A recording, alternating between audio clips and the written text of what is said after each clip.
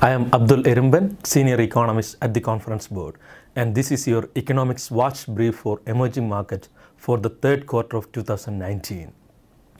Consumers in emerging markets, who have been the primary drivers of economic growth in most of these economies, remain confident, at least for now.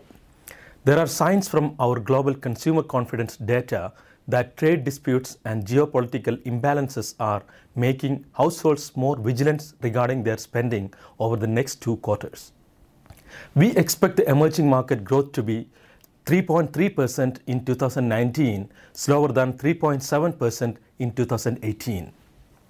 GDP growth in the first half of 2019 has been generally weak across large emerging market economies.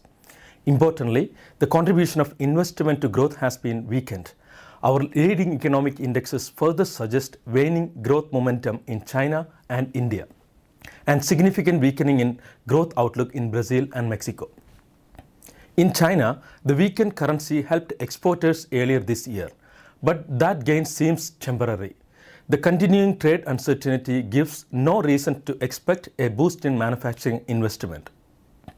Government stimulus may help infrastructure investment to offset the losses elsewhere in the economy, but is unlikely to reverse the slowdown.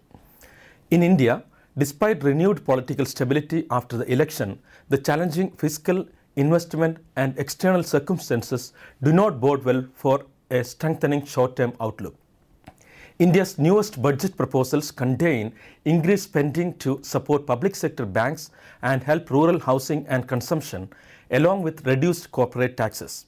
These, along with plans to stimulate FDI and infrastructure investment, may help investment and consumption, but these effects may not arrive until the later part of the year.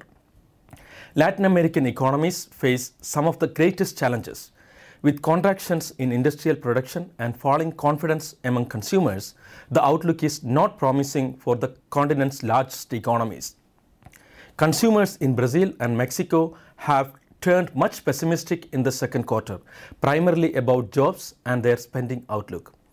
High unemployment and the persistent ambiguity regarding reforms makes Brazil's outlook increasingly depressing.